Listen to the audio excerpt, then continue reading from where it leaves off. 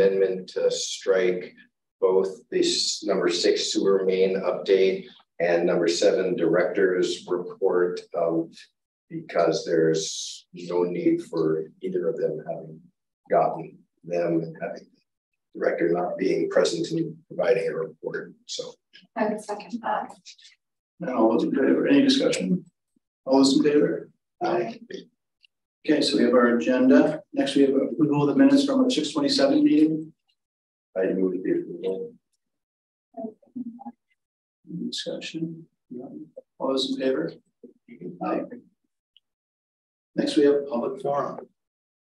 So first up tonight, we have Jack Hanson. Welcome to join us if you'd like. Is it better to do it now or on the item? We're gonna, we're gonna do it now, um, because the item will get, um, fairly shortly, we just have an Okay. update on it. Okay. Um, how long do I want me to go? Um.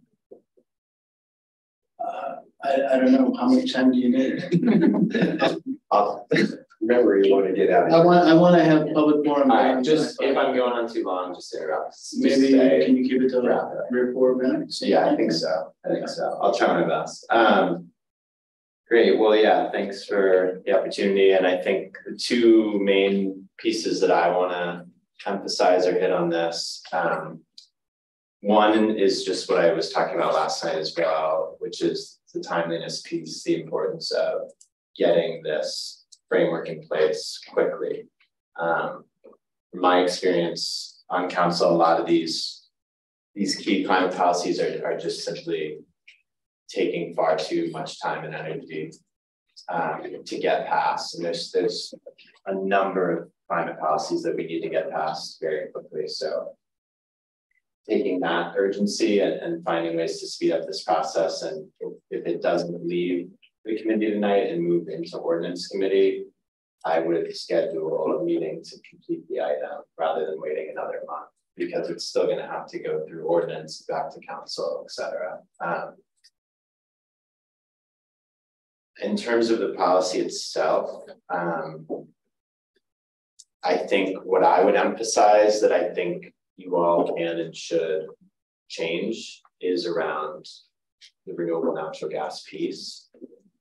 Um, particularly for new construction, I don't think it makes any sense to be building new construction with this fossil fuel infrastructure that, if built, is largely going to be pulling um, natural gas, not renewable natural gas, from Vermont Gas's infrastructure. That's largely what's going to happen if a new building is built with gas infrastructure. That's what they're going to be pulling. They can pay into this renewable natural gas system, but and support potentially, you know, if the program is run well, which I'm skeptical of, but if it is, they're potentially using their money to leverage an increase in renewable natural gas within the system, but they're also drawing frac natural gas, you know, standard natural gas directly in the building and in that way increasing that demand at the same time. So I think it's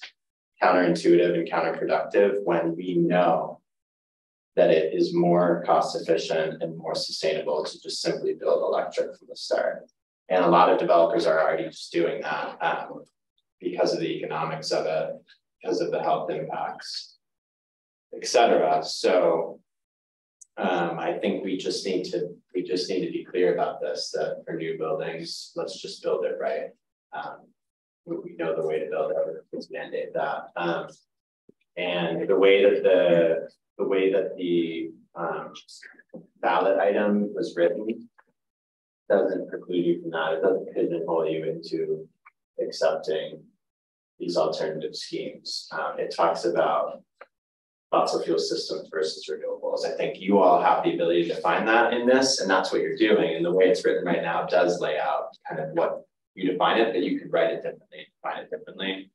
Um, the voters weren't pigeonholing you in any direction on that. So I think definitely for new buildings, I would not, I don't think you should allow renewable natural gas. And then for existing buildings, I get that it's harder politically, particularly because of conversations that have happened with some of these large buildings from the administration, from the city saying, you know, you're gonna be able to use this pathway of renewable natural gas. And I get that, but at the same time, you are the policymakers, you are the elected officials.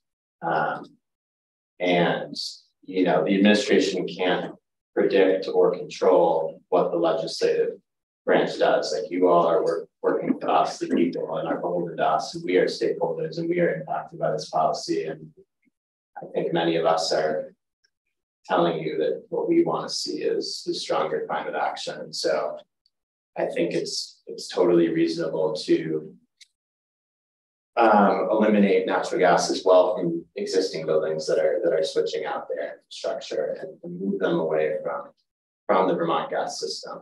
Um, because we're on a different timeline and trajectory than Vermont gas. We're trying to move more quickly, more aggressively.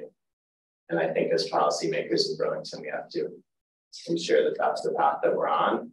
And the final thing I'll say, and then I'll be done, is basically with Vermont Gas's renewable natural gas, they're essentially paying with the hopes or the best case scenario that by them paying this premium on their gas bill, Vermont Gas will increase somewhere else within the system the amount of renewable natural gas or bring a new RNG project online that will be useful.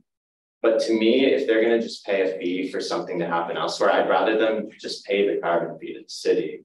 I trust the city more than I trust VGS to actually deliver on those dollars and deliver carbon reduction benefits for those extra dollars spent. So I think if they can't comply through actually going renewable, let's have the fee go to the city, not to um, not gas. Thanks. Thanks, Jack. Next, we have Connor Woods. Hey, everybody. Um, if you like reading while talking, there's like a quick little handout here. Um, I know I, my guy usually plays over wanted to speak about that.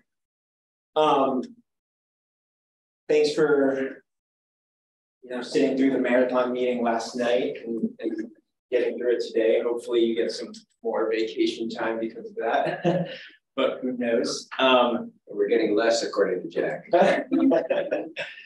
um, I mostly wanted to piggyback off of what Jack was saying and then just kind of add and speak a little bit specifically to hydrogen or green hydrogen. Um, it, it wasn't an energy source I was really familiar with um, until a couple of months ago. And the more I learn about it, the more I realize that like if you know natural gas and renewable natural gas is being called into question, it really makes a lot of sense to be eliminating hydrogen um, or green hydrogen as well. Um, you know, I wasn't able to get a superstar scientist to come and testify today, but um, we did have one come and testify um, to the Senate Natural Resources and Energy Committee um, back when they were testifying for the Affordable Heating Act. And I can send this over to you, but it's uh, Professor Howarth, and he has like a lot of experience and expertise on researching hydrogen and the literature around that. Um, and basically, like it's more dangerous than renewable natural gas. Um, it's it's kind of called an invisible gas because you can't smell it like gas. So you know when you ever like leave the gas on, you smell it, you're like, oh, I told turn it off. You can't do that with hydrogen. So if you're blending gas in, um, like we're gonna get explosions. And uh, as I testified last night, like my hometown um, had a huge explosion back in 2019. I grew up in the northern Merrimack Valley and uh, destroyed dozens of homes. And so I'm kind of sensitive to whatever we might be doing to um, put our put our city at risk here. So um, finally, just in terms of like the climate piece too, um, hydrogen, if remember back to the periodic table of elements, it's the, the smallest like element there. And um, that means that it leaks a lot more. And so uh, natural gas is a leaky substance, but if we add hydrogen, it's going to be leaking way more through the pipes and also like into our homes, houses. Um, so that's like also not good. Anyways, if you have any questions about that, um, I'd be happy to like talk to you more and connect you with people who are more eloquent than I am. Um, always really happy to do that. And yeah, look forward to continue talking next. Thanks, Ken. Next up is Ashley Adams.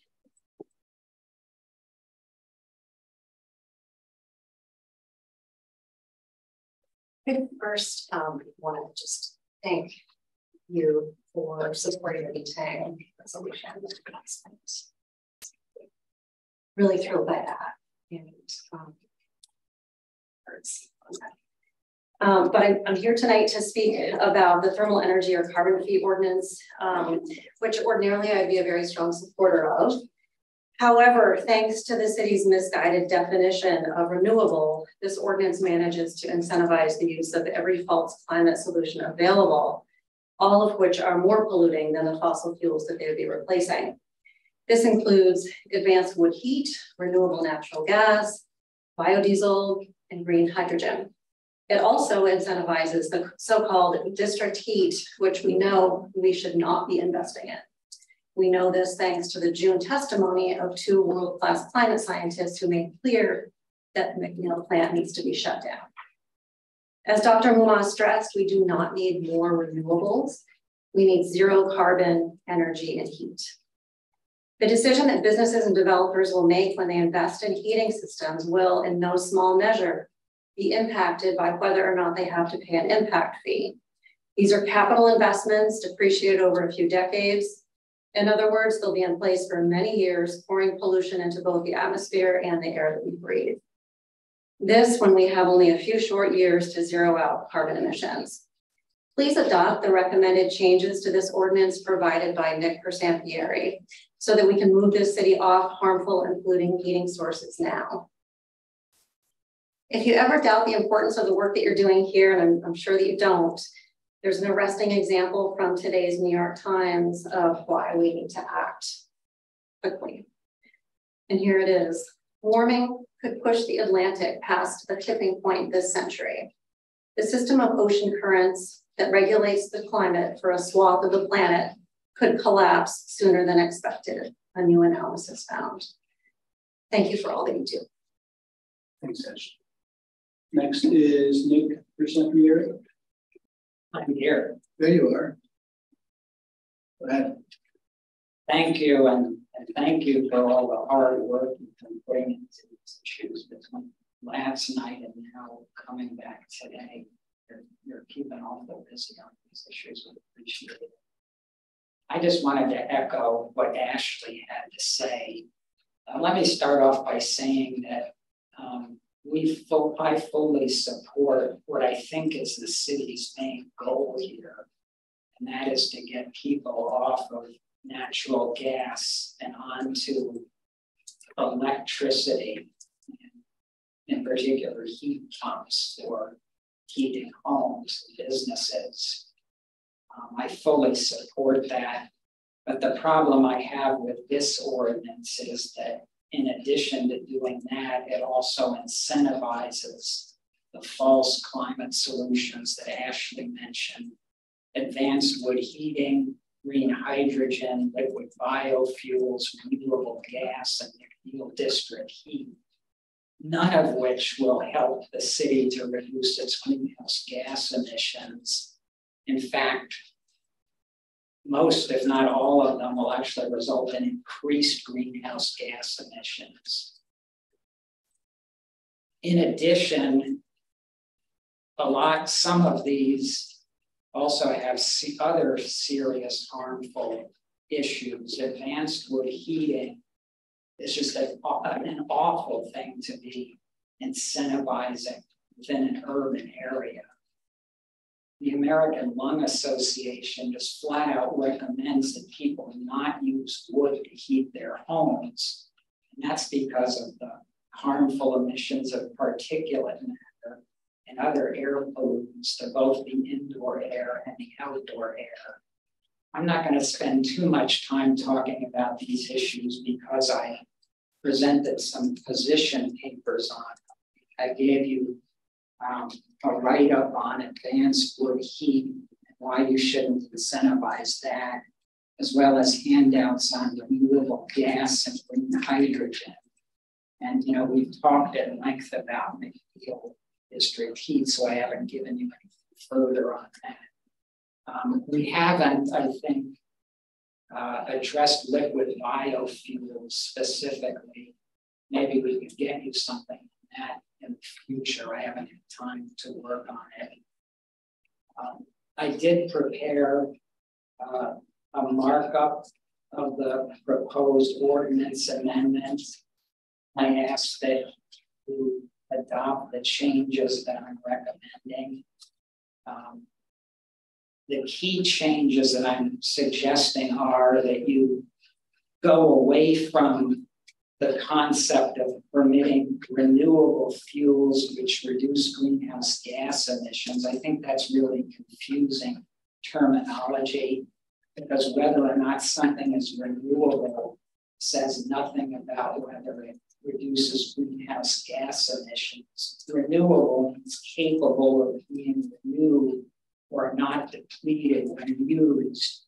And we shouldn't confuse that concept with uh, the carbon intensity of a type of fuel.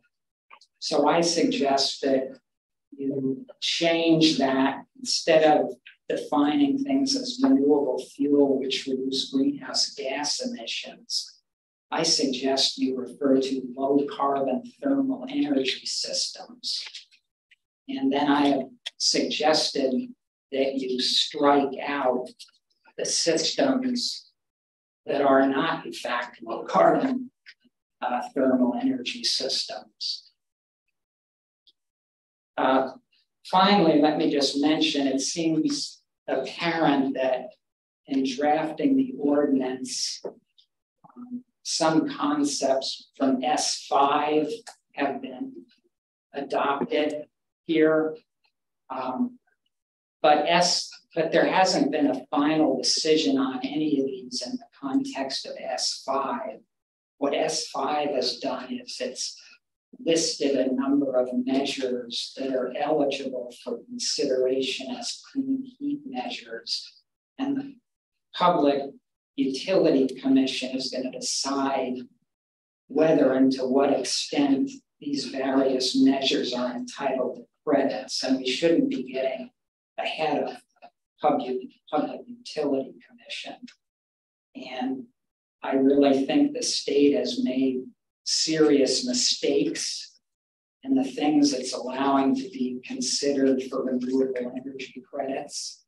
I think the legislative process was dominated by fossil fuel industry lobbyists. I think we can do better. Thank you for considering. Thank you, Nick. So I just want to say that Nick uh, sent these to us. Did they get into the, the record? They aren't into the record yet, but um, we can certainly add any of the material that's provided by. So you can, so while you're running this meeting, I can forward Maddie the three emails that I think were requested from Nick. From Nick. But we also if you would like to include this other piece, we would have to uh, do the electronic version. Sure thing. Yeah, so you said that electronically. I'll just forward them. Okay.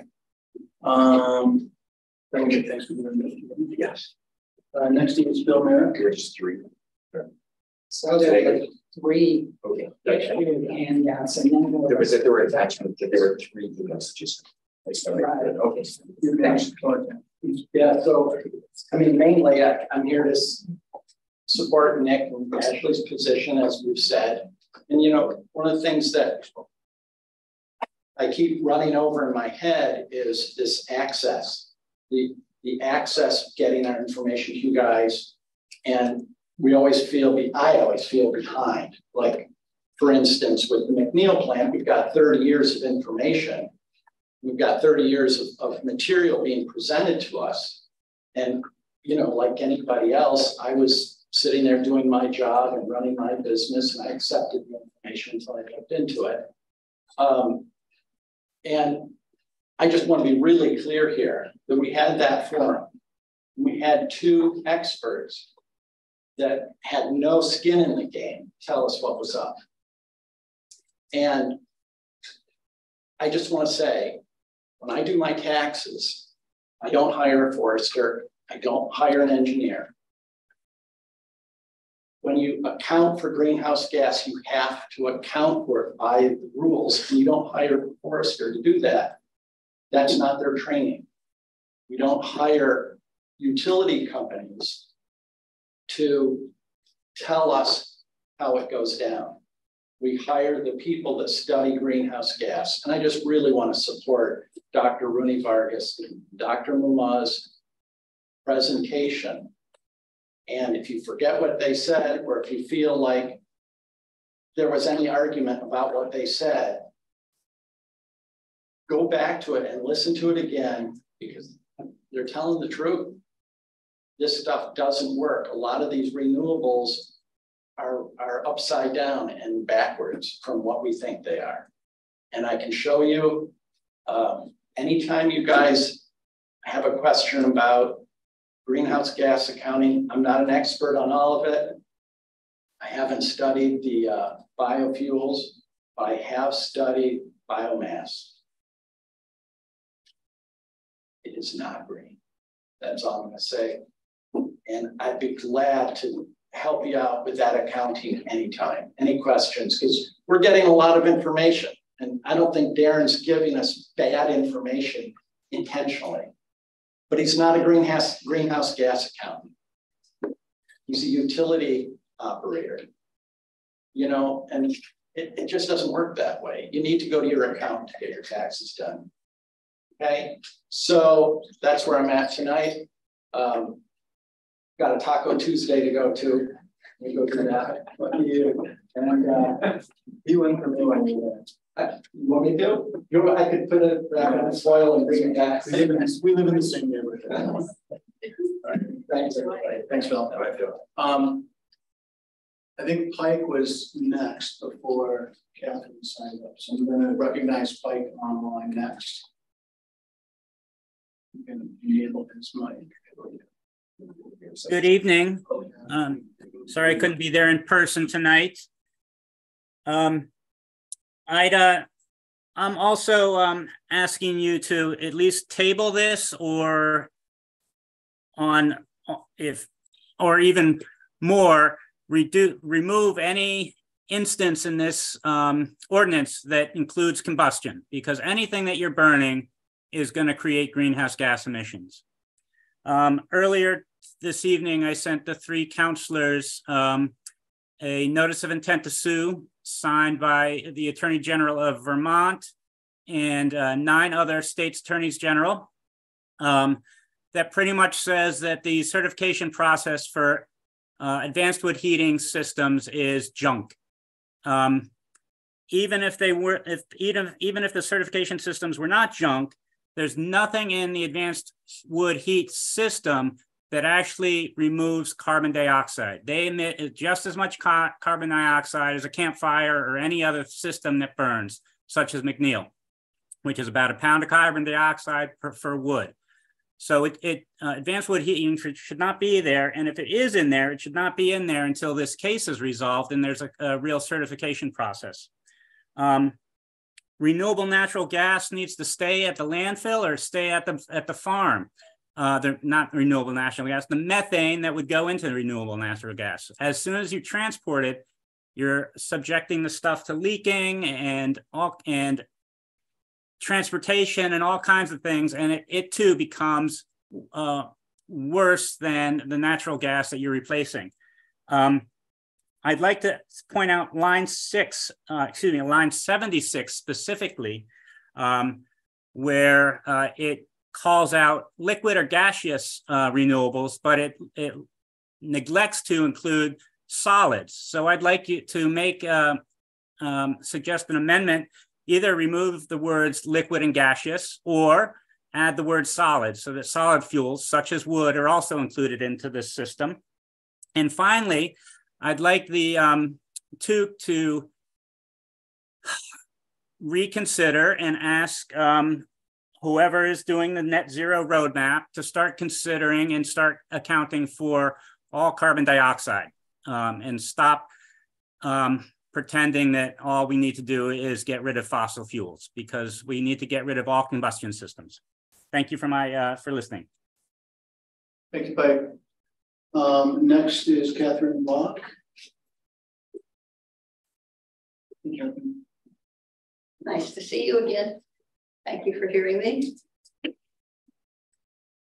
Um, I'm also speaking on the thermal energy system ordinance.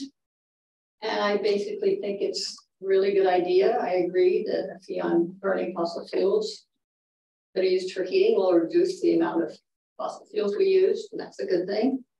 I also applaud the emphasis on electrification, heat pumps, modernization.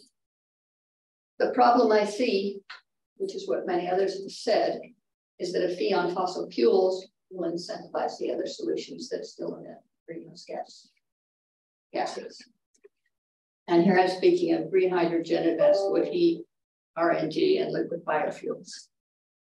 Last night at the city council meeting, someone near the end speaking on how they're burning biofuels and biomass in Europe um, for much of their energy use.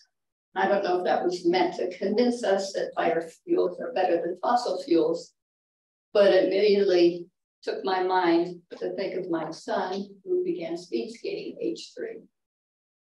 And uh, I remember his first race, this long-legged, skinny little guy in a baggy speed skating suit. And he loved it. At age eight, he and a group of friends decided they were going to be on the Swedish Olympic team. And they spent their whole childhood training. Now in Sweden, they burn trash for energy. Sounds like a renewable resource. They just collect it, drive it to the burner, dump it. And you can imagine it does produce some strange smells sometimes when you're driving around in Gothenburg. I don't know where the burners were, but we smelled it. Um, then we learned that the energy to keep this 400 meter speed skating rink frozen they got from burning trash. So my son developed asthma, which is very common in Swedish children, but he was determined to keep skating. And so we got the inhalers and the medications and kept him going. And he got to be pretty good. And so after high school, he moved to Berlin and trained with the Swedish speed skating team.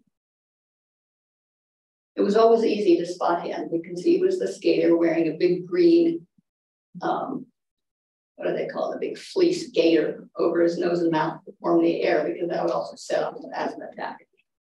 Um, uh, he did spend a year in Berlin, but it ended up that his asthma made it impossible for him to train often enough to get any better. So he was too slow and they sent him home. And he's now working in California with outdoor education, which personally I think is much more useful than trying to be the fastest in the world going around a 400 meter ring. But there are many smoky days in California, as there are here. And so he's often inside near the air purifier. Um, I'm telling you this story because it may seem gross to burn trash. And I admit that trash produces a lot more pollution than hydrogen and biofuels but burning non-fossil fuels also produces greenhouse gases, even in Europe. That's what we've been saying. So this ordinance would be a great step in reducing greenhouse gases in Burlington if it was changed by adding green hydrogen, advanced wood heat, renewable natural gas, and biofuels to the same class as fossil fuels. So they'd also be charged a fee. And they would be difficult for them to continue emitting greenhouse gases. We do need laws to reduce, reduce burning of everything to make eventually make it financially impossible or impossible to, to emit greenhouse gases. Thank you very much for hearing me. We have two more speakers. Trying to Um, I think uh, we'll go with Steve Bitcoin next. Sweden. Swedish. No, no, Swedish thanks. I came back and they burned trash there. Just uh, heard some of the other speakers. I know I missed some of it, but I think this this committee still need to get at the question of what does it mean when you say what is renewable? And BED just dances around it. They can bring in the foresters. The question wasn't answered. Supposing And it needs to be answered. What is renewable means? Everyone looked at it clear in the eye. We know that wind is renewable, say every day, solar every day. Hydro maybe on an annual basis at best, but you, you don't have that answer. And I think you need it. It's pretty simple. If a tree is cut down today, some of it is burned in McNeil. When does that tree get back to where it was to say it's been removed? And it's not a hard thing to show. And I think when you see it, you'll realize that renewable doesn't really even come into the equation when we're talking about, say, 2030 or 2050 as the drop dead dates for dealing with climate change in the city. So it's an easy question to get. You should demand it and not have it obscured with some kind of graph or theory, but there's a number. Foresters will tell you how long it takes a tree to grow back in Vermont. And if you think that that period of time represents anything that is going to be helpful in the battle against climate change in the city, go with it. But I think you're going to find that it's totally irrelevant in the battle against climate change because trees don't grow at a pace that's going to make any significant difference in the next 20 years, or 10 or 20 years when we're fighting climate change. And they may be renewable on some scale, but not the scale that you should be, and I think you are concerned about. So I just ask you to demand of them to show you when they from data when a tree is truly renewed. And use the same kind of judgment as you say, when is wind renewed? When is solar renewed? It's 100% replaced every day. Well, what about a tree? It's probably on a scale of 100 to 200 years. And it's not helping at all in our fight against climate change. And by the way, as you know, trees grow at an exponential rate. So in the first 50 years, let's say it's 100 years to be fully grown. The first 50 years, doesn't grow at 50% it grows about 30% or so. And in 20 years, it grows to maybe 10%. So ask the questions and then they make uh, informed decision on this because they're really trying to fudge this thing completely. The word renewable can mean different things. Coal is renewable on a million years schedule too. So I think it's an easy question to get the answer to, and I think it'll make a big difference in how we look at uh, the use of wood in the city. Thank you. Thanks, Steve. And our last speaker, it looks like, is Peter Duval online. Actually, Dan Castrogano's here. I want to wrap this section up soon, people. Um, if Peter and Dan can make their comments in the next five minutes or so, can allow them both to go. So, Peter, keep that in mind, please. Go ahead. Well, thank you for the opportunity to comment. And uh, I am Peter Duval. I live in Underhill, a town from which McNeil Generating Station receives many tons of wood chips. And when McNeil foresters and loggers come to town, they bring their skidders and whole tree chippers and tractor trailers and drive them into the forest for a noisy diesel burning party all day long. When that diesel burning party's over and the atmospheric river inevitably appears, raindrops, instead of falling on tree leaves and deep forest duff, fall on brambles and shrubbery, and they unite in rivulets and streams and quickly join Stevensville Brook and Browns River, which pass through Underhill Center and by the old Red Mill on the way to the Lamoille River and Lake Champlain, where they bring their phosphorus and sediment. So if you're disappointed in the beach closures during the summer, you can you can thank the city and BED for its for McNeil's contribution to uh, the lake's troubles. And I tell you that story to remind you that McNeil's effects are, as BED is presented, on the landscape.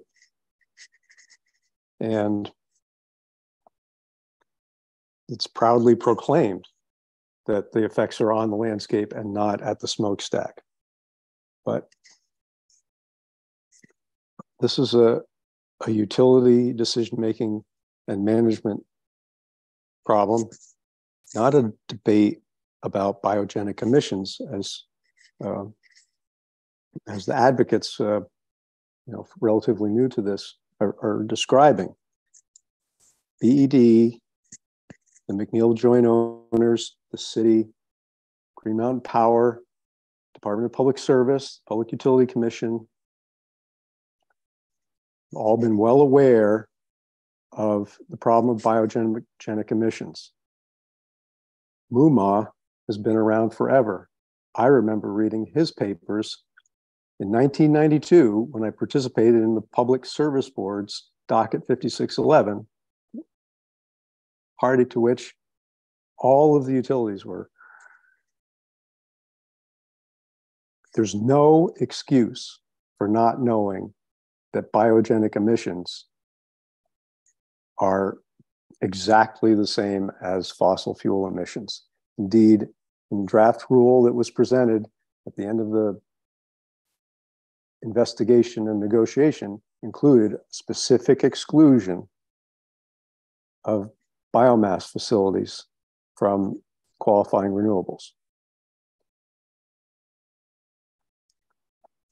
Because utility decision making is unique, completely different from other types of business operations, it is the utility's responsibility to act in public interest and prepare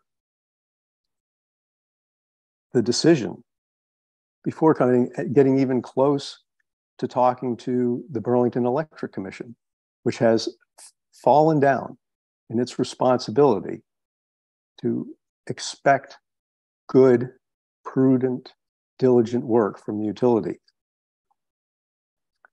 You should not be receiving information from the advocates. It should be coming from the utility, a complete uh, profile of the of the situation with fair solicitations from all resources, careful study of all issues and risks. It is a huge risk to make an assumption about emissions, as BED has done and the city. So what I would like to suggest to you is you start asking the questions that should have been asked much, much earlier, long before BED and the city committed ratepayer and taxpayer funds to the STEAM project and expanding and continuing McNeil, which has always been a losing business operation. Thanks, Peter. What? Let me just give you a couple of questions, okay? Yeah. Why, why, why is McNeil different than the Burgess biomass plant in Berlin, which is $150 million? Yeah. Hey, Peter, could you, uh, we want to, Peter, excuse Why? me, I'm sorry, sorry to interrupt you. If you could submit the questions in writing, um, we'll make sure that we see them. You could ask that question of Mr. Springer right No, I now. just need to, I need to wrap up public forum so that we can move on to the You're gonna- other portion. You're going to have a presentation from him pretty soon. And you could ask him some tough questions right now. Okay, thank you. Just, you can send those along to us. I think we've we've heard some of the questions you posed before in other forums as well, so we're aware of, uh, of many of your concerns. Um, Thank you for doing your duty as public uh, officials representing the public interest and ensuring that Mr. Springer and Burlington Peter. Electric Department do their duty. Thank you. um, and our final speaker, and we're starting to run over now, is uh, Dan Castrogana. So Dan, if you could uh, keep it somewhat brief so we can get on to the rest of our meeting tonight. Thanks. Listen to the science, listen to the people, and don't listen to Darren Springer and the Burlington Greenwashing Department.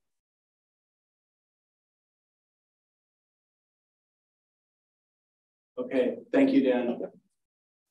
Um, and with that, I'm going to close public forum and move on to our next agenda item, which is a uh, discussion of city fleet. And uh, Lee's going to lead us in that. Yep, thanks for having us. Joining me tonight is Ashley Parker. Um, we're representing the Fleet Committee. As you may remember, when we came to Board of Finance and City Council for FY twenty-four fleet purchases, um, that was approved, we reached out to the committee to schedule some meetings to uh, discuss how the city can move forward in creating a sustainable uh, fleet funding strategy. Um, uh, as you may have read in the memo, you know, I have some quick bullets. Uh, I'll keep it quick for you all, and we have a busy agenda. Um, you know, the city owns over 400 fleet units. That's citywide. The general fund itself has 276 units, which is about 68% of the total fleet. Um, it's about two to three million dollars annually um, to create the sustainable fleet replacement strategy uh, moving forward. And as you know, there's currently no funding available to purchase general fund vehicles uh, going forward. In addition to the annual need, we still have um, leases to cover in FY 25 and 26 uh, of about a million dollars uh, each fiscal year. Um, correct me if I'm wrong, Ashley. Um, jump right in if, if you want to add anything as well. Um, you know, if, job. okay.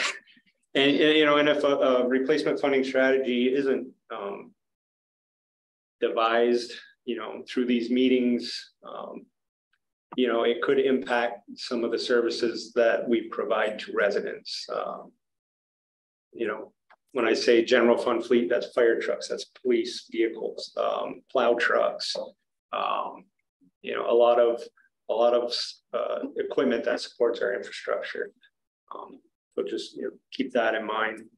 Um, and we did outline some questions uh, for the committee in the, the, memo. I don't know if you had a chance to review them. Um, you know, asking, you know, for direction and guidance and how we should proceed with this. Uh, we did have a study done back in 2018 prior to when I took over this position, but I am familiar with the study moving forward. Uh, we actually created our fleet purchasing policy from that study, but there were recommendations in that study on, um, you know, possibilities of how we can take some portions of that study and contribute it to the annual fleet funding. It was more in efficiencies and right sizing the fleet um, and, and recommendations like that. And you know, moving forward at um, you know upcoming meetings, we we can provide you with that study if you would like to review it and uh, list of recommendations that Ashley and uh, the fleet committee has come up with. Some are stated in the memo. Um, but yeah, we really like to, to get your input on um, some of these questions that we have outlined on page three. Yeah, I guess the, if it's okay, Lee, I'll just add. Yeah. Um, so, you know, just to let you also know of some of the other work that we've been asked to do, um, I'm sure you'll remember during the budget uh, process this year that the mayor has shown a desire to engage with a consultant to try to assist us with the, with this issue or an issue.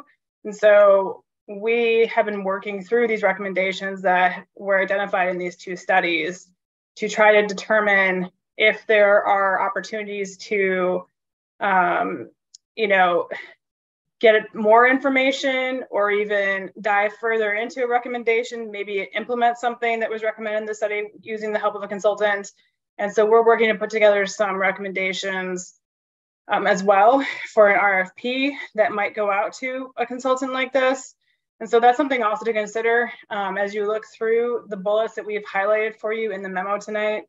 Um, we the, the bullets that you'll see for both revenue and expense options are things that we, you know, the fleet committee, the finance work group um, felt might actually be worth considering in terms of moving forward and trying to come up with some long-term financial revenue strategies um, that will help us get to where we want to be. So I think that's just some additional background when you're looking at these. And if you have ideas to you know something that's not on here or something that you think is is not worth our time and energy.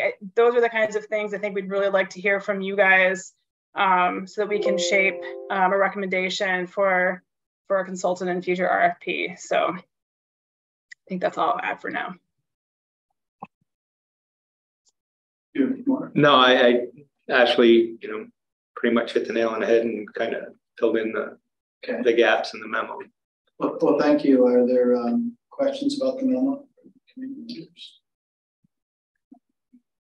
I mean, I believe that you were asking for guidance. Correct. So it's, um, And uh, And I know this is the initial meeting, you know, and, Yeah. and we're planning more meetings and this is a lot of information to, to get.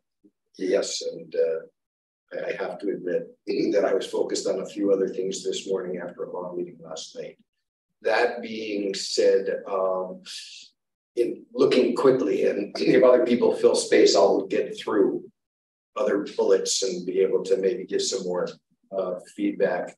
Um, I, I, I think that your first bullet on revenue options is worthy of consideration, which for everybody else who's out there who has, doesn't have this, is build fleet funding into the general fund budget, either by requiring budget departments to budget for their own replacements or carving out a general fund wide fleet budget by reducing other expenses. I think that's always something to, to, you know, that needs to be considered on this. I am not in favor personally of returning to a strategy of cash purchases. Uh, that seems to be off. These are capital expenses and they should be treated as such and not as general operating expenses. Uh, the bonding bullet is um, is the right one, but it's problematic with a uh, with where we're at in bonding, and so I don't know how to, to deal with it. You know, in a in, in, in, the, in the, the status quo that we have for for raising revenues. Mm-hmm. Um, the the fourth budget, uh, fourth bullet on revenues, which I'm not sure is a revenue, but what the heck, annually assess the assisting existing fleet to determine whether there are any vehicles or equipment that can be sold. I guess that is a uh, is a revenue thing. Yeah, that makes perfect sense to me. Um, okay, so that's about as far as I I quickly got on that. If you mm -hmm. let me just sort of march down, I think this is what you were yes. looking for in terms of um, our feedback and, you know, sort of the bigger concepts, I think, flow from much of these getting thrown in, yeah. you know, and then they these spark other ideas. More discussion. Yeah. So anyway, if I if I can kick a can sure. to you, then I'll go, I'll look and maybe look at the expense side a little bit. Uh, well, Sure. Um, you know, my understanding, at least from a board of finance meeting I attended, that we were moving forward with the consultant is, are we likely to, or is there an inclination to, and you're just asking us to um, sort of bless it? Because I think it would be useful to have um, some, some outside expertise to help us understand, you know, the options, um, maybe someone who's worked with other entities or municipalities that have been in similar similar places. But should it be another wholesale fleet? Um, yeah, I guess just for clarity. Yeah, I was just going to say for clarification, um, there is going to be a consultant. I think when I was approached by the CAO to start looking at it, coming up with an RFP, they she had not been aware, and the mayor I think forgot that we had these existing studies. And so they were kind of pairing with what his initial take was on what he wanted to move with. So what we're trying to do is say, okay, we did these existing studies, we have these recommendations. Are there are there gaps that we need to further dive into? Are there opportunities to maybe throw in, um, you know, some of these more revenue focused um, ideas to help us have something that we could implement sooner rather than later? Because a lot of a lot of the times when you do a study, they'll give you a bunch of recommendations, but it takes time to implement those. And because of where we are with the revenues, and it's truly something that we need to figure out sooner rather than later. It seems like if we had somebody we could bring on board to provide us some guidance to, and, and maybe help us actually have something to implement within the year would be ideal.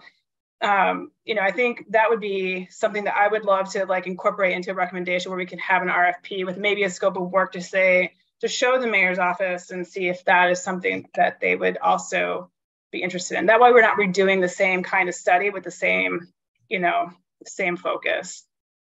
I guess I'll, I'll, I'll say that I have not read the studies or seen the studies, so I guess I would I would like to start there personally, just to see what's what's been done, um, and that might inform um, some some recommendation from me, anyways.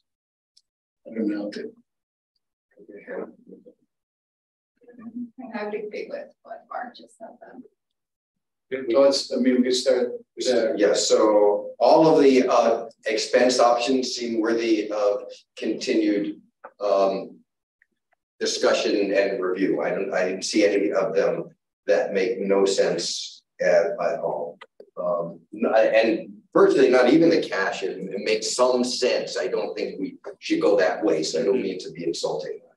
I say it like that. Um, the uh, I've been known to say things like that. Um, in terms of the uh, the revenue picking up from where um, I was at, which I think was the, the annual assessment. Um, mm -hmm. uh, the rest of them seem reasonable. I I, I think that the uh, the new carbon fee uh, bullet, uh, which I think makes a lot of sense in terms of using the sources of funds uh, and we're talking about this now, is nothing that's going to be in any um, near term. And I mm-hmm. think that there's there are a lot of there are going to be a lot of demands for that just in the thermal sector. So not in the transportation sector. So I don't know that I would have that as being a um, a high um, priority in terms of the timing for studies and and banking on things. And you know both the the, the franchise fee um, and the, all of the stuff related to the enterprise departments um, is sort of interesting. It's not quite clear um, in terms of franchise fees what exactly it is you're talking about we charge them they get paid into the city. They're an alternative to the property tax. So why you couldn't be using them? I mean, I think that all these things need to be rationalized within the concept of a capital program for the city's fleet, mm-hmm. a fleet which is absolutely needed to function as a municipality that works. So, mm-hmm. you know, uh, yeah, and, and you know, uh, there's been a lot of ration, what I what I consider to be like economic rationalization over a long time. And I mean, there's been a lot of progress. I know that because I worked on leases like 15 years ago mm-hmm. for us. So it's it's uh, it's clear that uh, we're doing stuff. And you know, some of this is, you know, if if utilizing credit cards to pay the vendors and put the rebate money toward the fleet, it, I mean, those are sort of like these small ideas that you know like they come and go as yeah. as the rebates change and and what have you so i i don't know that you need us to be trying to be micromanaging that, that level of you know, like the daily, whatever it is, uh, you know, moving money. There, there's, there's not triage. What are, what are people that um, arbitrage? That's it. The people that are like making gazillion dollars off of one penny, being you know different in their trades. You know, like you know, you need somebody. I mean, I think that's what Munir does. That uh, you know, he, he he's pretty, I, I think it is Munir that really understands the uh, the system and, and, the purchases and what have you. Uh, James Gibbons. Okay, James, sorry. But, you know, so there are people that are there that can do that or that we, you know, could look to, to bring mm -hmm. on. So that is my, um, so my, my, my feedback on that. So in terms of actions, I mean, there's, there's you'll no provide us with yep the studies? What's the time, the, the sort of general timeline on this? I know that um, if we're going to bring a consultant in, if we're going to make decisions based on previous studies mm -hmm. and new recommendations, all that needs to sort of be done in time for the, for next year's budgeting cycle, which will begin when in like October or so. Yeah, hopefully. So is that, is that realistic even between now and? Yeah, I, I think we should schedule, you know, a, a, another meeting or two between now and then. Yeah. Um, we'll get you Get our, the information. Yeah. Um, have you look it over and take, you know, your input from this meeting back to the entire fleet committee. Um, as a group, and we have a meeting in August, August August seventeenth, so bring that information back and some of your feedback, and if you come up with um, more questions or any other feedback or guidance, you can always email it to myself or Ashley or Chapin. okay, Um, or all three of us. you just mail whatever information you have or links to. Yep, to yep. us. Okay, We'll send it electronically, excellent. both three uh, The studies. only last thing is whether um there's any connection that can or should or could be made with uh regional uh planning commission and also with other municipalities. I mean, the whole regional dispatch is not really working. And it may be that this cannot operate, but the the if, I mean, every Department of Public Works needs dump trucks, needs, you know, you, you have all these similar needs. Yeah. Um, uh, and there, so, and so perhaps um, there is uh, some both efficiencies and collaboration that can occur um, that the commission could be helping in terms of studying, but also that an intermunicipal agreement might um, be worthy of consideration and that might be a just a pipe dream. But you know, Champlain Water District. South. There, you know, I don't know. And I mean, it may be that part of it is um if if if we have a vigorous program here, that might be a source of revenue. I I, don't know. I mean, but you know what I'm getting, we're going with that. So I think we tend to look pretty myopically. There's not a, it's not necessary, I mean, in and of itself, yeah, we can perhaps it comes to me. Okay. Do you have any other questions, Ashley? No, I think I, I think we're just well excited really to have you guys. You know, if there are any other ideas out there that you know we could throw in this mix, I think the group as a whole has acknowledged that this is going to take you know multiple multiple sources of funding. I think to make it sustainable, and it's going to take some time to build up any kind of reserve that ends up being the trajectory that we go in. But um, every little bit, any idea is not bad. Um, and I just appreciate your time and thought um, on this topic. So, yeah. Uh, can, uh, can counselors attend the fleet committee meeting or? Uh, we, we can invite you if, if Uh, It'd be interesting if, I, I will see, I mean, I'd be interested in attending. Yeah, it's- So yeah, it's pretty much just to- department See how that heads, uh, all within the general fund. Fire, parks and rec are represented. Yeah, Okay. Next on, uh, thank you for that. thank you. I Ashley. appreciate your time. Thank you very much. Next is, uh, the ordinance on priority. Um, and we have General Manager, Manager Springer here from BED to take this on.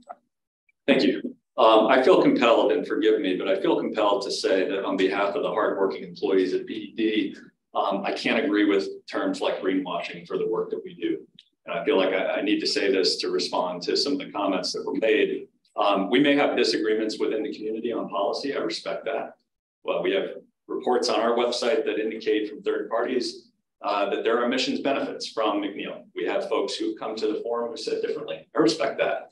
Um, we're a municipal public power utility. We are not a fossil fuel company. We're not ExxonMobil. Uh, we work for the people of Burlington. And I just feel compelled to say that uh, there's nothing that we do that fits with those terms. And so on behalf of the organization, the employees, the hardworking employees, I feel compelled to say that. That said, um, really here to, to answer questions uh, if you have them on the uh, draft uh, ordinance that I know was introduced uh, yesterday evening. I'm happy to discuss some of the process that went into it. I know we presented uh, at the tubes previously on this. Um, happy to talk about some of the policy distinctions uh, within the proposal. The one thing I would say is uh, there has been a serious policy development at the state level uh, with the clean heat standard becoming law. I know over the governor's signature, going through a public utility commission process and subject to further confirmation by the state legislature. I think to the extent it's feasible, it's smart policy for the city to work within some of the constructs that will be happening at the state level. the state's created a process by which uh, fuels can be looked at uh, for carbon intensities, which is, is included in the draft proposal as well, uh, that we can um, you know, use recognized national models for evaluating life cycle emissions of various fuels, which is the appropriate way to evaluate any fuel, whether it's solar, wind, nuclear, fossil fuel, biomass, biofuels, life cycle basis um, and uh, provides a process for the Department of Permitting and Inspections to ask for uh, analyses prior to qualifying or disqualifying fuels, provides a process for the city to be nimble in responding to developments at the state level. Uh, obviously, we act uh, hopefully in leadership here uh, on this policy, but we act within the state construct as well. And I think having some alignment with the state uh, would be good practice. Um, but really uh, happy to speak to any pieces of this that are helpful or to uh, answer questions that you might have. I think Bill Ward was intending to be online as well. Uh, I'm not sure if he is uh, yet, but I know he was planning to join for the conversation and Jennifer Green, uh, Sustainability Director is here as well. Um, we'll open up for questions. Sure. I, I, this is not so much of a question, but sort of a, a framework we've got, this is an ordinance in our building code. Okay, so it's in our building code. And it's authorized by a charter section that says that we can, I got it right here, that we can regulate thermal energy systems in residential and commercial buildings. Okay, so that's the framework. Leave the, the money part out of it. So that's what we're doing with this ordinance right here. It's in chapter, uh, well, it's in section 48 and subsection 66 of that. You can get there in lots of different ways, but uh, um, but that's the uh, the charter section. So then we go to this ordinance. And what, and, and I want to thank you, right? I, I, mean, for really good time that you've spent with me to mm-hmm. work through this. I, I, I think that you have been clear and straightforward and helpful, and I totally appreciate that. And I am very happy that you are a public servant and that this is a municipal utility. So I, I, I, I want to say that. And I believe that I am on the same team, even if I, and we have in the past, we won't always agree. Sure. It's just, of course, that's the way I am as much as anybody else. Um, so in this ordinance, we are, we're doing a couple of things. We're doing two things really. One is that we are saying what can go in, and then we're saying if that we're gonna we're gonna charge a fee for certain things, and that fee is now to flip to the second piece is the one is a fee that is authorized by the voters. And the charter section that I read says that we can assess carbon impact or alternative compliance payments for the purpose of reducing greenhouse gas emissions throughout the city, but we cannot do it, just paraphrase the next question, unless the people vote by a majority. Okay. And the people did vote by a majority um, to put uh, a fee of up to $150 per ton, adjusted annually at the rate of, of regional inflation, um, for new construction buildings that install, and here's the, the thing which I'm sort of like, in a way, stuck on, in relationship to this bigger question that people have raised. Install fossil fuel thermal energy systems instead of using renewable energy systems or renewable fluid fuels. So the key on the fee in my um, my reading of this, and unfortunately for everybody who I deal with now, I deal with this as a as a current relatively non-practicing attorney, is that um, it is um, the fees are going to be on fossil fuel thermal energy systems, right? Now it says instead of using renewables, but if you had a fossil fuel energy system, that would be subject to the fee. Right. And what that means is that a non-fossil fuel energy system is not subject to the fee. That's not been authorized. So here is my rub with how we're sort of looking at this, right? Is that we're looking at this as you're putting these systems in, these thermal energy systems, in, and either you're fee or you're not. But I'm not, and, and for something like renewable gas, right? And I was, you know, I've been pretty clear that I'm not, I'm, I'm not a fan of that um, that um, the question of whether it fits in the fossil fuel definition um, or not is, I think, an open one, and I think is something that we can do differently within the authority that we've been given by the voters for the fee on that particular one.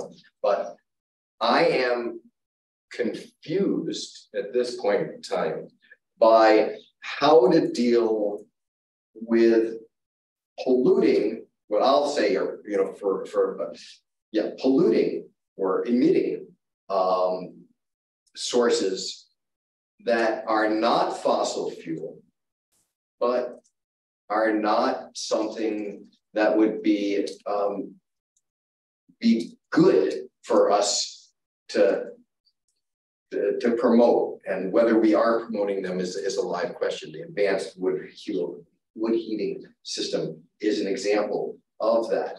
And what's interesting is that we don't avoid this conflict here because if an advanced wood heating system is not a fuel fossil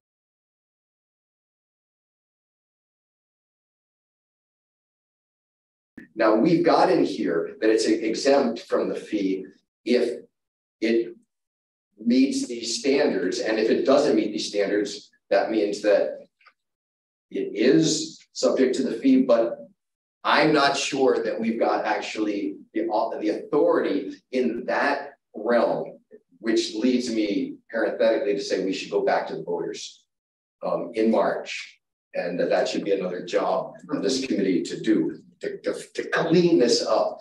But if there is a way that we can regulate things, and I'm not saying that I've been convinced about it by the, the green hydrogen, but for argument's sake, green hydrogen in a way that is, it takes it out of the fee part but still regulates it as part of a heating, a building heating system.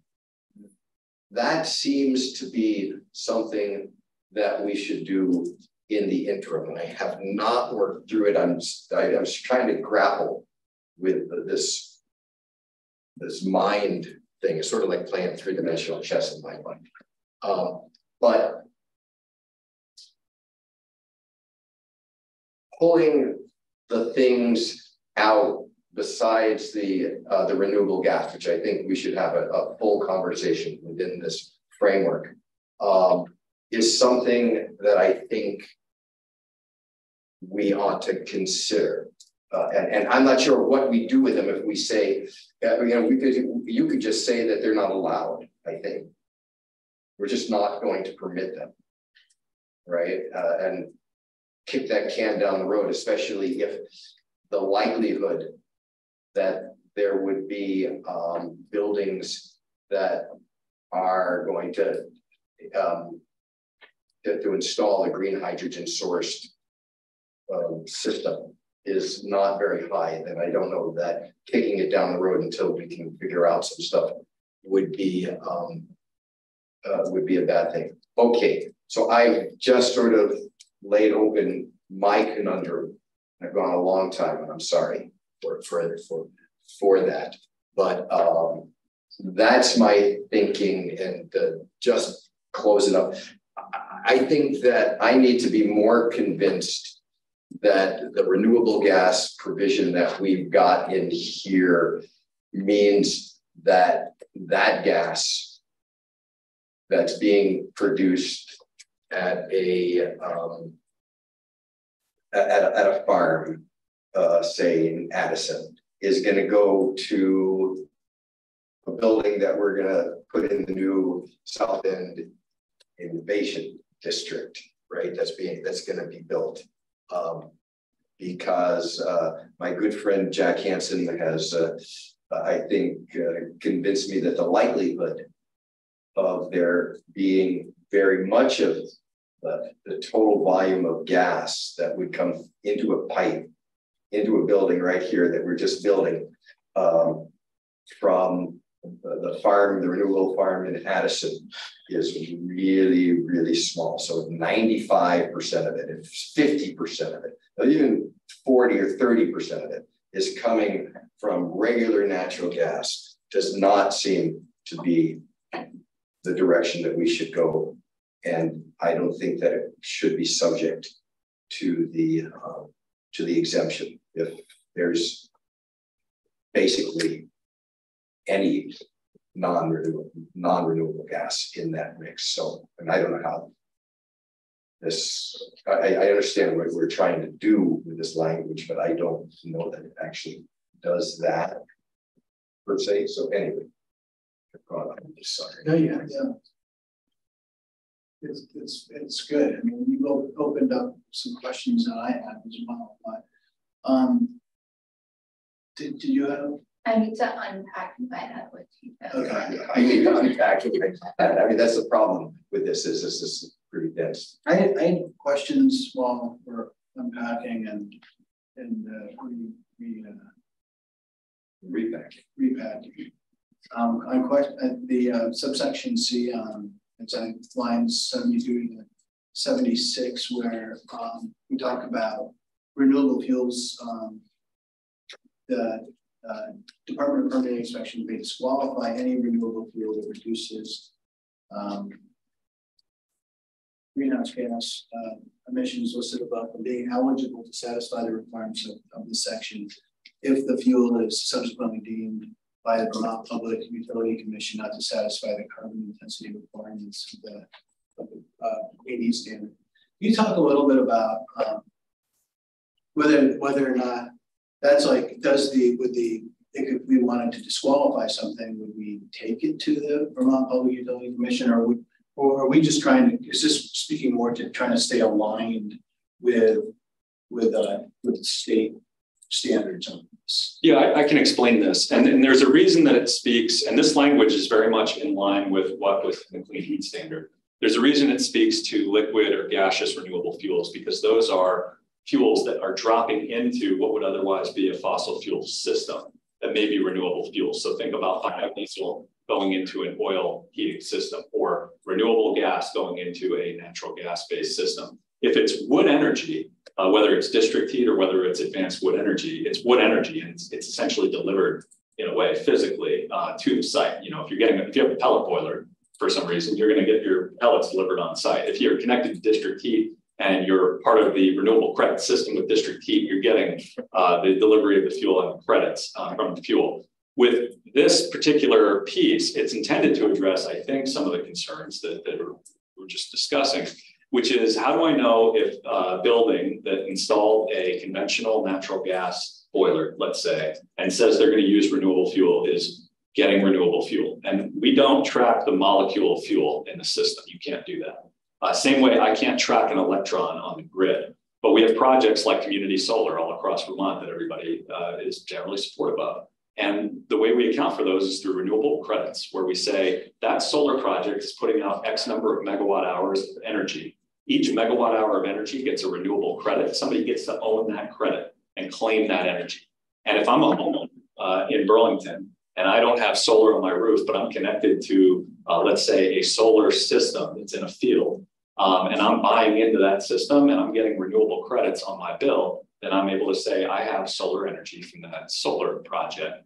Similar concept with these uh, fuels. Somebody says I'm purchasing renewable gas through a PUC approved tariff, then Vermont Gas has to ensure that they are getting the quantity of gas that's being purchased from that uh, customer into their system. Now, the molecule we cannot track, but that quantity of renewable fuel is being brought online essentially in their name with their being able to make a legal claim to it. And that's, I think, what this language is intended to do. It's also intended to say, if we figure out, either we or the PUC, um, uh, but it could be that the department asks for its own analysis separate from the PUC, that one of these fuels is not in fact reducing greenhouse gas emissions relative to the fossil fuel alternative, you could disqualify it. And then you would say, no, this fuel is not uh, qualified. You have a fossil fuel system, and therefore you would be subject to the fee. Would, would you have to take it? I mean, so I'm, I'm trying to understand if that signal would come from us to the PUC.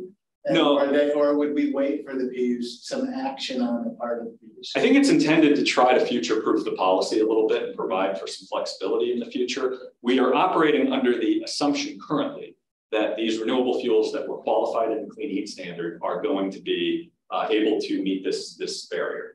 Uh, if they cannot, if they are demonstrated not to, either because the PUC determines it in their process, or the Department of Permitting and Inspections asks for analysis for a particular you know, applicant, and they can't produce credible analysis that says the fuel they're purchasing, whether it's hydrogen or renewable gas, whatever it is, is reducing emissions using the model that's spelled out in the clean heat standard degree or a similar model of rigor, then the department can say, I'm sorry, this does not count we're not going to include it. And therefore, if you have a fossil fuel system and you're buying that fuel, we're saying it doesn't count and you're still subject to the fee.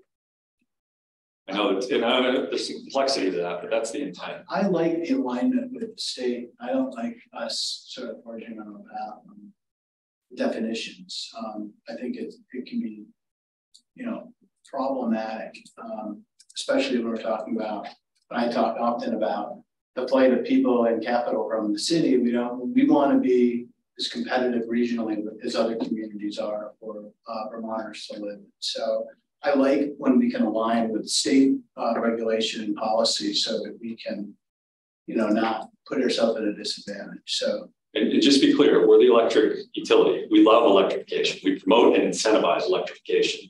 My expectation is in 90 plus percent of the cases where this applies in new construction, we're going to see electrification as the preferred option. That's our experience. Um, it's really important to have other options um, in order to ensure that not just new construction, but existing buildings that have existing distribution systems and maybe more limited in the ability to electrify their heating or thermal loads have a way to comply with this because, it, you know, as Councilor Bergman said, it's a carbon fee alternative compliance. It's not intended to be a tax. It's not intended to be the first option. It's intended to be an option that you reach if you can't comply. And so by having several different ways for a building to comply, we hopefully are more cost effective. We are hopefully more uh, able to help get more renewable uh, energy that's reducing greenhouse gas emissions into the system, as opposed to just saying to somebody, if you can't electrify, you pay the fee, which as a city owning its own municipal electric utility might be seen as well as, as somewhat self-dealing. And we're conscious of that perception as well. But my other comment, and I, I have one other one. So I'm still sort of grappling with how we how we keep or exclude certain renewable fuels in or in or out of the policy. So I'll just state that I'm, you know, I think there may be, you know, there seems to be a mechanism here that's built in we just talked about, but I'm still um, not entirely clear how we that would be um, reached, how we would do that. Like I think you said, if, if, a, if someone wanted to use a particular renewable fuel, right, And really, we're talking about an instance where you're using fossil fuel technology, not a renewable technology, not a heat pump, not a geothermal heat pump, um, not district energy or a wood boiler. These are all, you know, non-fossil fuel uh, systems. If you're using a fossil fuel system, uh, the only way you don't get charged the fee is if you're using a qualified renewable fuel. Right, and that, that is which qualified renewable fuels. Right, and we have a list here, but but right. any of these could be liquid or gaseous drop-in fuels subject to additional uh, carbon modeling and intensity analysis, right. either by us at the Department of Permitting as the enforcer of the uh, proposed ordinance, or uh, potentially if we take notice of the fact that the PUC has taken on a similar analysis right. and reached a different conclusion, um, in either of those cases, we could say, I'm sorry, you know, we use the example of green hydrogen. I'm sorry, we've determined that in your case where you're saying you're going to have green hydrogen, we don't believe it actually reduces greenhouse gas emissions relative to the fossil fuels. You haven't been able to produce uh, modeling at the rigor level required. So therefore, if you're using a fossil fuel system, that green hydrogen isn't going to count. You're going to have to pay a fee. So I like that mechanism. I like the fact that it future-proofs us and allows us some flexibility. My the only my only other comment um, was around, and I've, you and I've had discussions around using this this essentially this ordinance is to help us um, tackle the challenges in the thermal sector. And my preference has been if there is a fee, and our hope is that we don't charge the fee, right? Because it means that people are using the technologies that we want them to use.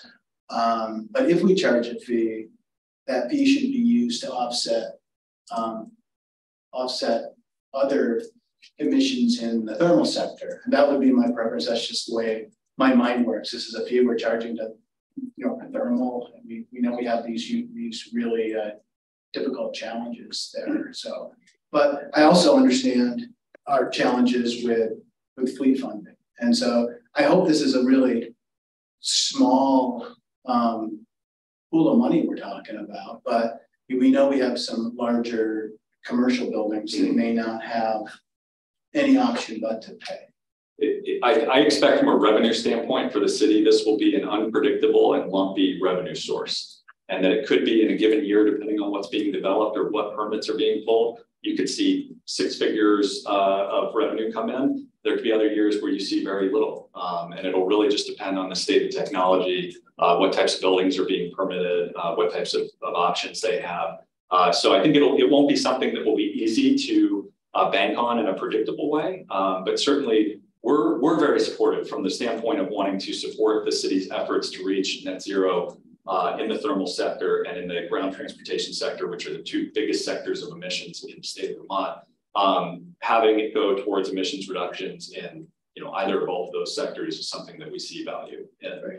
And so, and so I'm I'm supportive, but less supportive than I Understood. Otherwise, it might be only because I understand the fiscal challenges the city has as well. And this is like one of many tools we can use to solve. That's right. Solve the problem. So those those are my my comments. on this. Okay. So I, I'm looking at uh, line 72 this is in subsection B, which is uh, in, in 8 77. Um, and it's a subsection C of that. that that's the, the definitions section. And um, on a very practical level, as I think about this, um, I, I am seeing some implementation issues. Somebody comes in to get their building permitted and they see they, they, they've got something that fits the above um, in the above list. Sure. And then and they they get a permit and they build. And then we some we subsequently find that there is an issue. Uh, that seems to be on an implementation basis for a permit very problematic. And Well, the, the fee being charged is at the time of permit. So we don't really have a mechanism in this policy outside of the permit context. So I would assume, although maybe you're suggesting it could be clarified, that uh, you operate under the rules that are in place at the time of your permit. It would be unfair essentially to go back to an applicant. Yeah, but the problem is that this builds in a look back in in the future. In other words, I that's where the subsequently deemed by the utility to not satisfy the carbon intensity requirements.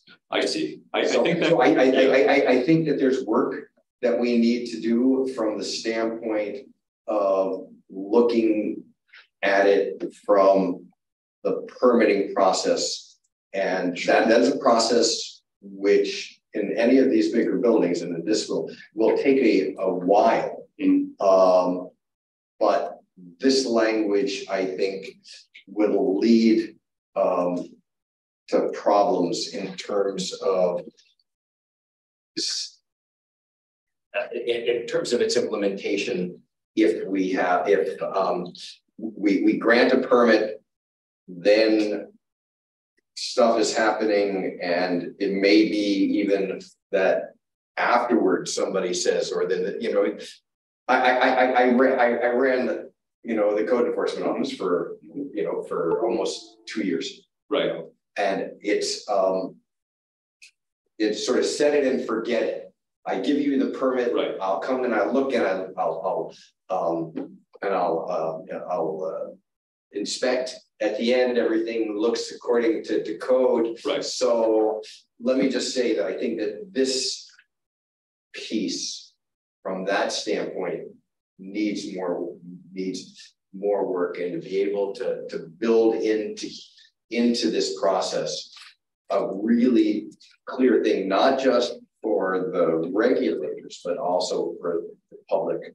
Yeah, so, to be crystal clear, I wasn't reading this in the way that if you had a permit and your renewable fuel was qualified at the time you were permitted, that the city would go back and, and retroactively change your condition.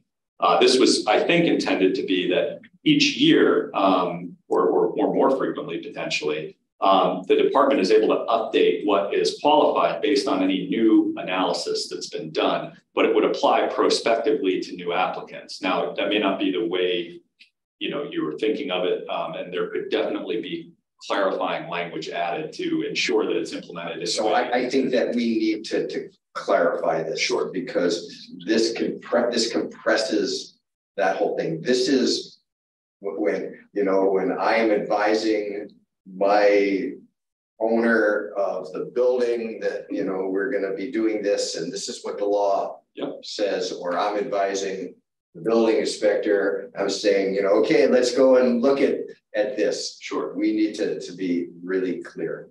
Um, and that sort of leads me to the reason that we've got green hydrogen sourced in here is what? Why, why, why, why is it listed as, uh, as a fuel that, uh, uh, two reasons I would say. One, this list is intended to be, and if you read uh, uh, the, the, clean heat legislation, you'll see this is intended to be very much uh, in symmetry with the clean heat definitions. And so green hydrogen sourced exclusively from renewable energy sources is, I believe, consistent with where the clean heat standard is. Uh, secondly, this is, again, we're future proofing a little bit here. There is not uh, a significant supply of green hydrogen that I'm aware of at the moment. Uh, when we say exclusive from renewable energy sources, you're talking about something where somebody might produce hydrogen using uh, solar electricity or wind electricity or hydroelectricity or something like that, and be able to use it as a thermal energy resource. Um, if it was produced from fossil fuels, it wouldn't count here. Uh, that's what's called blue hydrogen, as I understand the terminology. Uh, we're talking here about green hydrogen. The Federal Inflation Reduction Act included significant incentives to try to drive towards production of green hydrogen. Uh, if it becomes a viable resource uh, that people could look at, it would have potential applicability, as I understand it, in more industrial scale energy use situations where currently we have fewer options and electrification may be less of an option. So it seems like we should have it on the table. Um, but it consistent with the clean heat process. If it was determined at some point in the future that it wasn't uh, reaching the environmental footprint that was, you know, intended, uh, it could be excluded from the clean heat standard and excluded from Burlington's policy. And, and this is a, it's a drop-in, so to speak, uh, fuel, so it's, it's not gonna be a system on its own. I think it could be both potentially, but I think what we're talking about would be, uh, it can be blended in with natural gas, uh, in a system. Um, there's also discussions around, you know, fuel cell technology and other things, uh, that could be more of a campus-based approach. So uh, My paper addresses that, sorry to interrupt. It can be blended in only in very small quantities. If you want to use it pure, you need new pipelines, new appliances. It's So- ludicrous. It's not. So, so I, so, um. Given this, and I, I, I, appreciate the reason to sort of future proof, so to speak, but given the reality, and I'm, I'm reminded of our zoning amendment process. Where, you know, we are often, oh, this new thing come up, now we gotta think about it, we, we do a zoning amendment.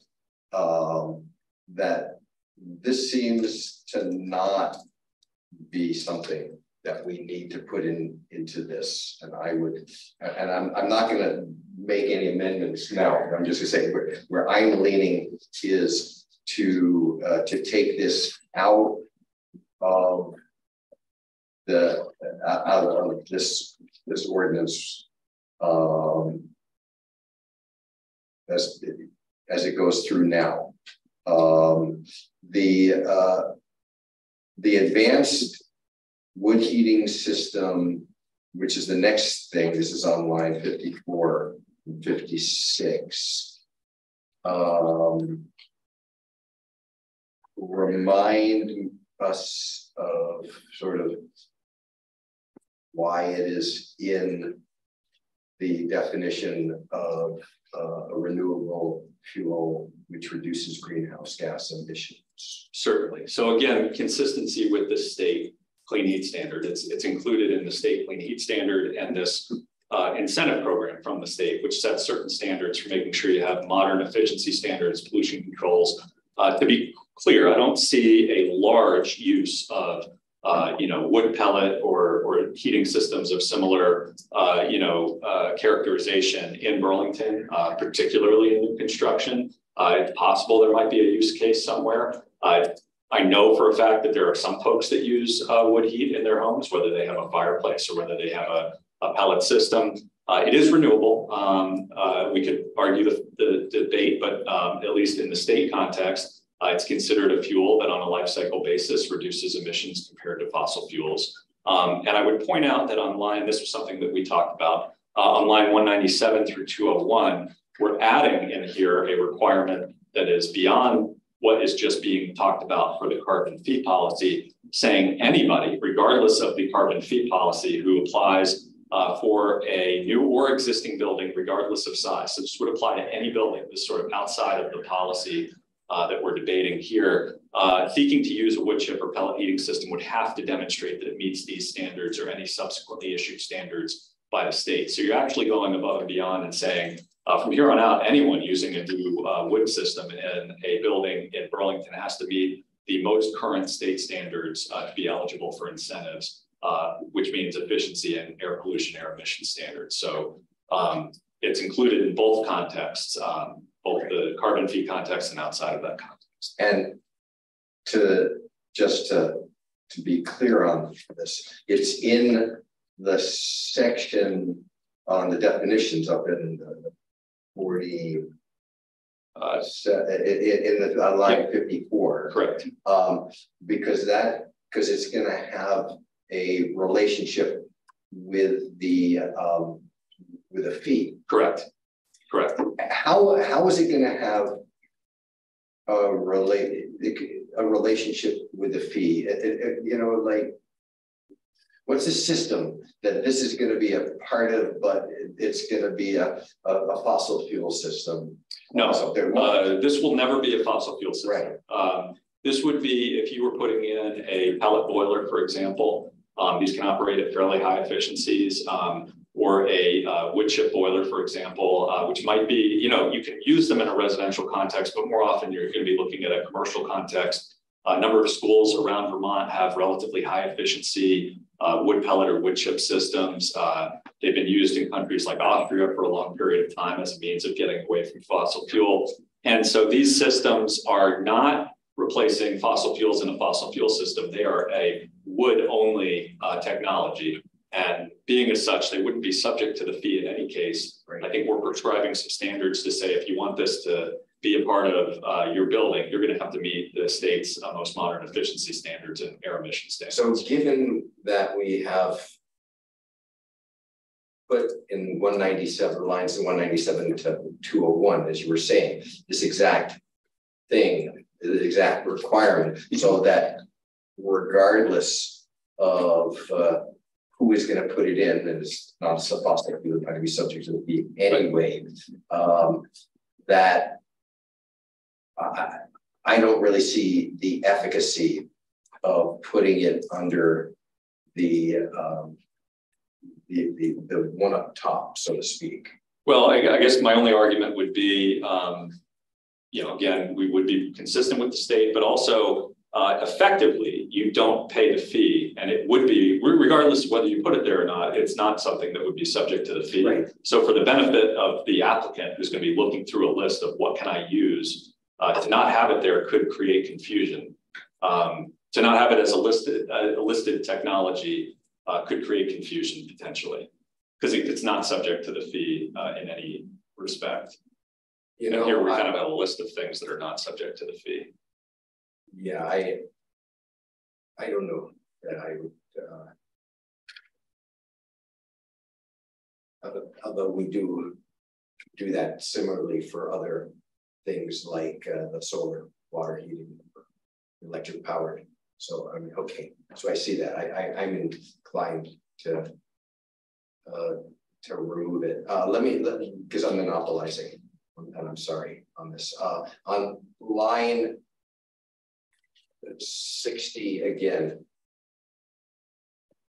you were explaining 60 through 65, which is the renewable gas. You were explaining the, not the molecule, not following the molecule, but um, following the um, uh, this process for for I don't know um, certification or something like that. So, um, are are you saying, and I that this language will require that all of the, the gas that would go to power a thermal system in a, in a building in Burlington being built under this requirement.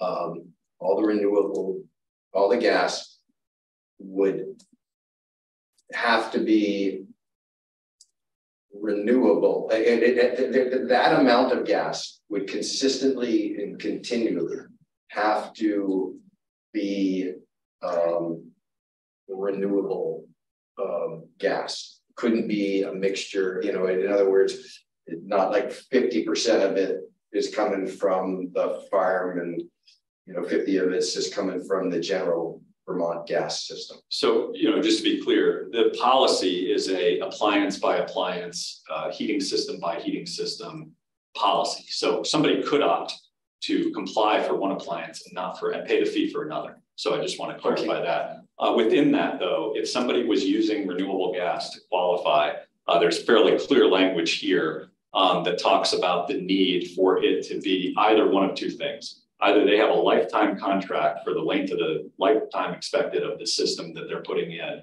ahead of time for the renewable gas, which is unlikely. That doesn't typically exist. Or more likely, uh, they have an annual certification that shows that they are purchasing the quantity of renewable gas that's needed for that appliance or system. If at any point they stop doing that, the fee then applies to them on a prorated basis for the remaining life of that system. Uh, so that's exactly right, um, as you kind of uh, just described it. Um, you know, you would not be able to uh, to do that uh, halfway. And I think I can point to the uh, language here is on uh, page, uh, or sorry, line 145, um, which talks about for compliance purposes for systems that are capable of using a fossil or renewable fuel that reduces emissions, um, that you have to have the contract demonstrating that it's fully sourced for the life of the system, which is unlikely, or an annual compliance certification. And it makes clear that if you use that option and you fail to provide the annual certification in any year, uh, then the, you will immediately be assessed the alternative compliance fee for the pro rata share of the remainder of the system. If you miss it just once, you're out. You're then going to pay the fee for the remaining life of the system. You don't even get to come back in, essentially.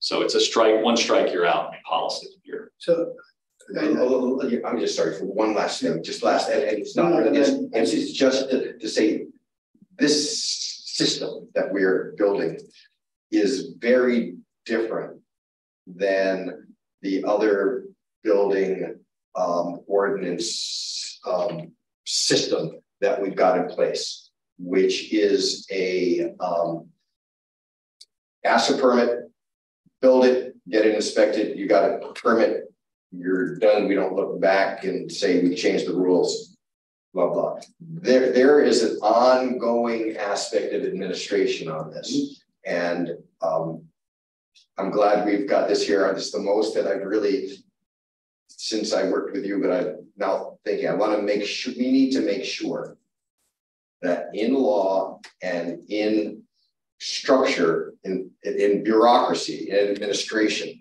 we are set up to do this because this is very different. This is not anything that permitting and inspections is, is looking at. This is almost more akin to it being a utility and you know having these ongoing obligations to look at. So I, I wanted to raise that as a as a flag that we need to make sure we're taking care of because the worst thing that we can do is to build something that does not work.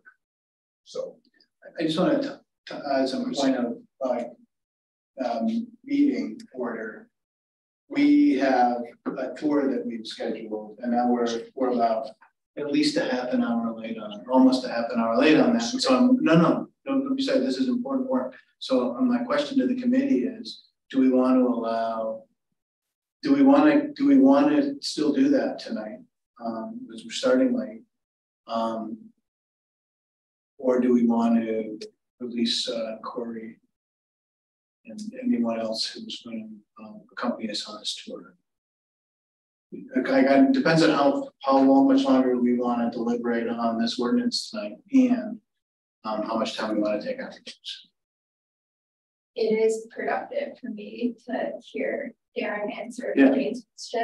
So so I would be okay with scheduling another meeting. I mean, I had the and and for, for, for, the, and, for the tour. No, no, I think you know if we could set up a, a, another special meeting that would uh, continue continue this. Would, would you be open? Oh, of course, uh, you know, schedule permitting. Yeah, absolutely. Okay. okay. I just, um, and I, I hate to interrupt the flow of the conversation, but just in terms of timekeeping. I, I, I'm sorry. You, you're, you getting, you're getting you kinky. You didn't do anything wrong. Here. There's something to be sorry about. Um, we just, we always pack too much into our two meetings, as it turns out. I should learn some better, uh, better scheduling skills. Um, so I don't want, I didn't mean to interrupt your train of thought. So if you want to finish this. I, yeah, I know I, I sort of got there and, and in the, this is helping me figure out how this thing works. And I, I mean, like, this is fairly revelatory to me as I'm thinking through the, the, the process. Um, Do we want to try to schedule another meeting right now? I would, I would, I would be inclined to want to do that. Um, and it would be just for the purposes of continuing this item. Um, so, shall we? I guess let's just do that.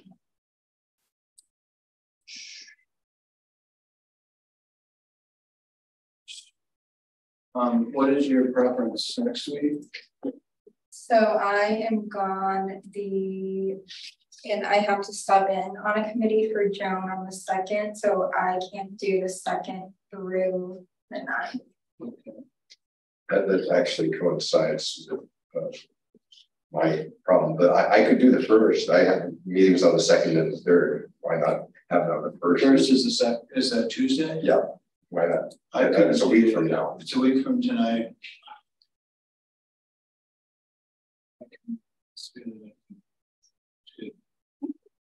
I can do that too.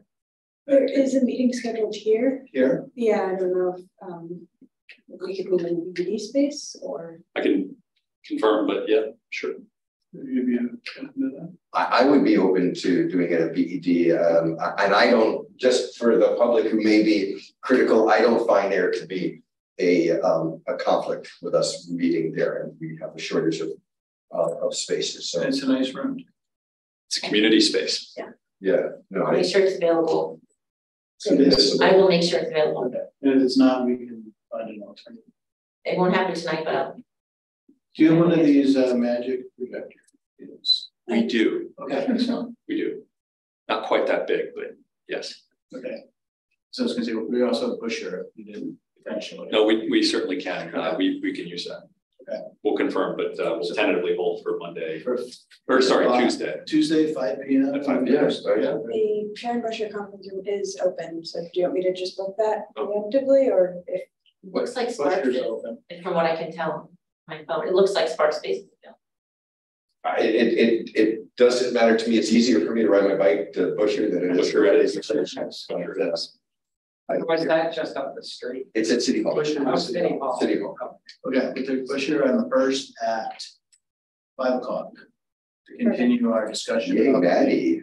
Treatment ordinance. Go, Thank you, girl. everybody. Okay. But the public gets to come to that group. I love every, all of our we meetings are public not? hearings. I, I may, we're just gonna, it's gonna be, I guess it's not, I guess, yeah. Well, i- i- if we recess, then the answer is no. If the, if we have a new meeting, we have to, we have to warn it, the answer is yes. And I, I am in favor of hearing, you know, like, things to help us work through this myself, you know. I, I, I am as well. Um, I just, uh, again, it's like we, uh, are trying to manage our work with, um, with, um, with also hearing from the public, so.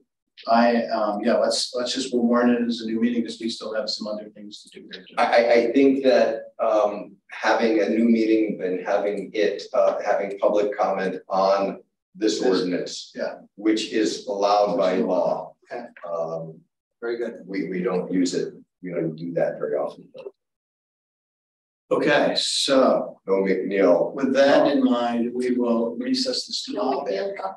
no McNeil talk on this, let's control ourselves. We're ourselves. going to, uh, the next item on our agenda here. Thank you, Darren. Thank you. Next week. See you. See you. Appreciate it. Thank you. Of course. Okay, um. The next is councilors up, councilor updates. Are there any? Um, I went on work before. Great time. Going, Yes, going beforehand. Yeah, I went the day, the Friday before. With uh, Joe Nelson and um, Ethan Stafford, uh, is the Chittenden County State Section. He really uh, informative.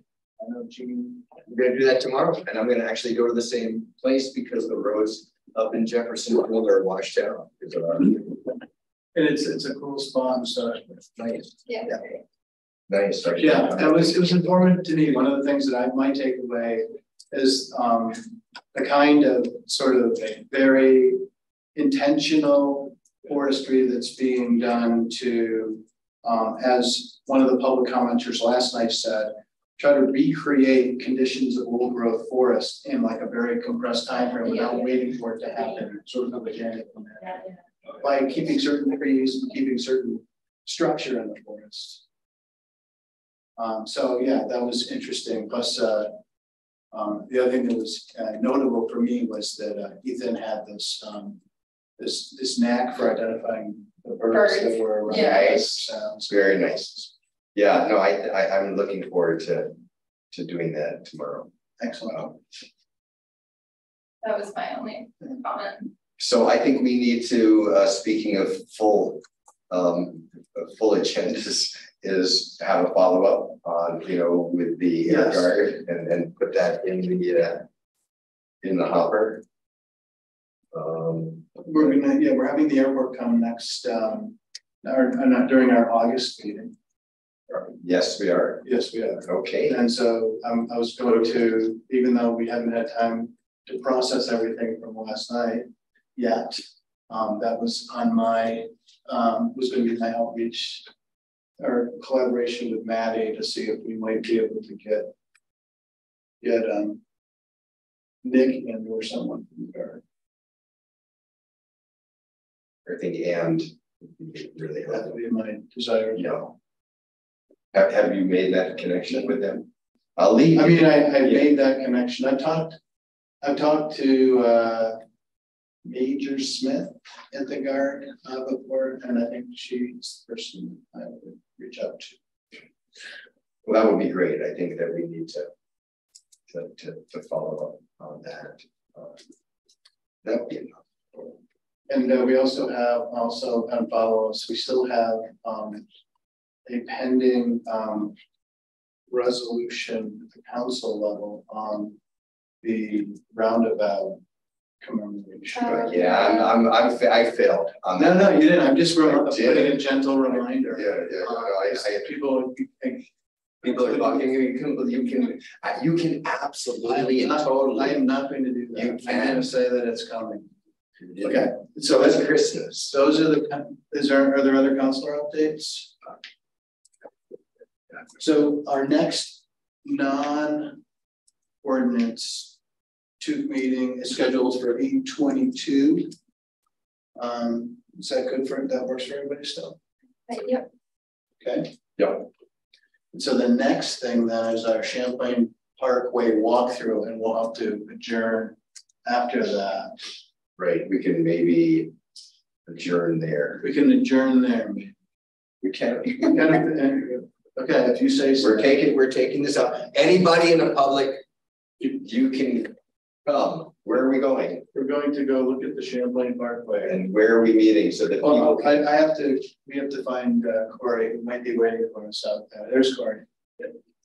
So where, where would we be going? Uh, well, it's kind of up to, like I said, the discussion of where we want to talk about through things. Um, obviously, we're at six forty-five Pines. We can start here and start working south down the alignment. That's where most of the work is currently going and what's going to be getting finished in this initial construction contracts. Yeah, yeah. We said it. Okay. Is there anything else we need to do in this room? I don't think so. Ready to close up. From the Zoom? I guess, uh, I guess we'll say goodbye to everybody watching remotely. Um, and just to remind anybody who's watching, we'll be continuing our discussion of the ordinance uh, that we were discussing tonight on August first at five P M in the Sharon Bushor Conference Room at City Hall.